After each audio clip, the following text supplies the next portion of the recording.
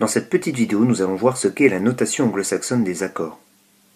Mais qu'est-ce qu'un accord? Un accord, c'est la superposition de plusieurs notes jouées en même temps.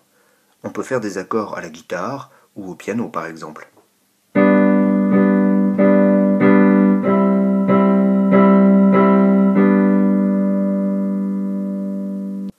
Ce qui est important pour comprendre la notation anglo-saxonne des accords, c'est de savoir que la note la plus grave d'un accord s'appelle la basse.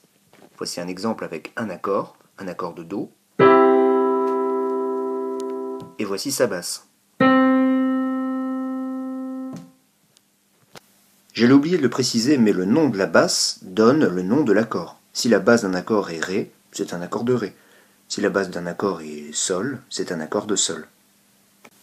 Alors il y a plusieurs basses possibles que tu connais normalement, le Do, le Ré, le Mi, le Fa, le Sol, La, Si, et puis le Do qui revient. Eh bien, dans la notation anglo-saxonne des accords, on remplace le nom de la note de basse par une lettre. Do va donner C, Ré va donner D, Mi, E, Fa, F, Sol, G, La, A, et Si, B.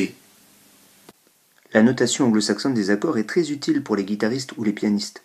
On peut accompagner une chanson uniquement avec son texte et les lettres des accords. Regarde cette partition par exemple du blues Sweet Home Chicago, tu vois que le premier accord joué est un accord de Sol, le deuxième un accord de Do, le troisième un accord de Sol, etc. En conclusion, retiens qu'un accord est la superposition de plusieurs notes jouées en même temps. La note la plus grave d'un accord s'appelle la basse et elle donne son nom à tout l'accord. Si la basse est un Do, ce sera un accord de Do, si la basse est un Sol, ce sera un accord de Sol, etc. Dans la notation anglo-saxonne des accords, on remplace le nom de l'accord par une lettre. Si on a un accord de Mi, la notation anglo-saxonne donne E. Si on a un accord de Sol, on a donc la lettre G, etc.